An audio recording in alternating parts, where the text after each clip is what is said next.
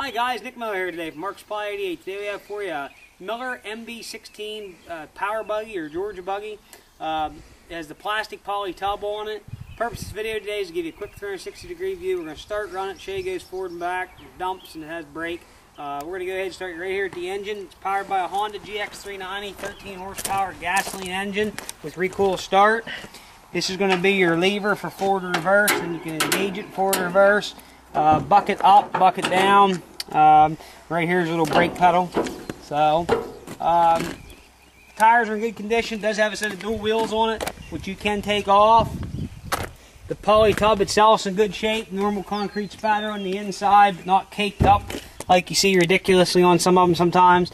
The tub's not cracked or busted anywhere and it holds water.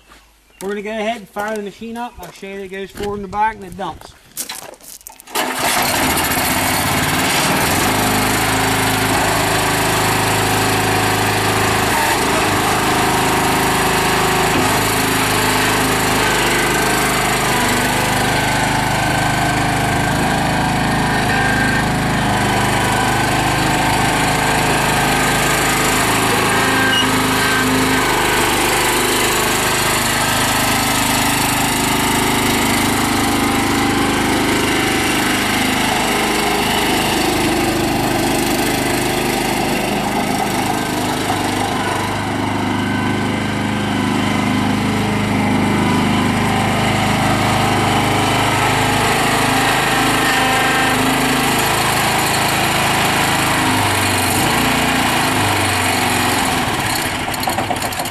I hope you can see there from the video this Miller MB16 power buggy or Georgia buggy is in good shape. Starts, runs, works, does everything it's supposed to do. If you have any questions, please give us a call at 814-658-3066.